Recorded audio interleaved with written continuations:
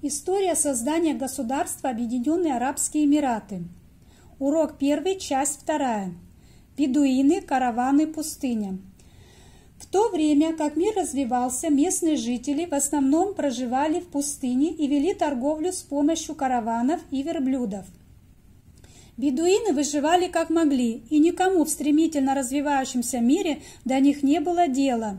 Они страдали от очень высокой температуры, их мучила жажда, они ели очень простую, скудную, однообразную пищу. Бедуины не имели практически никаких образовательных учреждений, отсутствовала система здравоохранения, продолжительность жизни была очень короткой – в эти времена Дубай был небольшой деревней, где высота домов не превышала два этажа.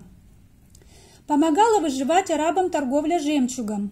Именно торговля жемчугом занимала львиную долю в экономике Эмиратов, составляя примерно 95% от всех поступлений в казну. Дубай называли «жемчужным берегом», но только ныряльщики за жемчугом знают, каких усилий стоило его добыть опасность быть съеденными хищными рыбами в Персидском заливе, морская соль, разъедавшая глаза, перепады давления – все это отражалось на здоровье ныряльщика, приводило к глухоте и слепоте. Жизнь ныряльщика за жемчугом была недолгой, а профессия переходила из поколения в поколение.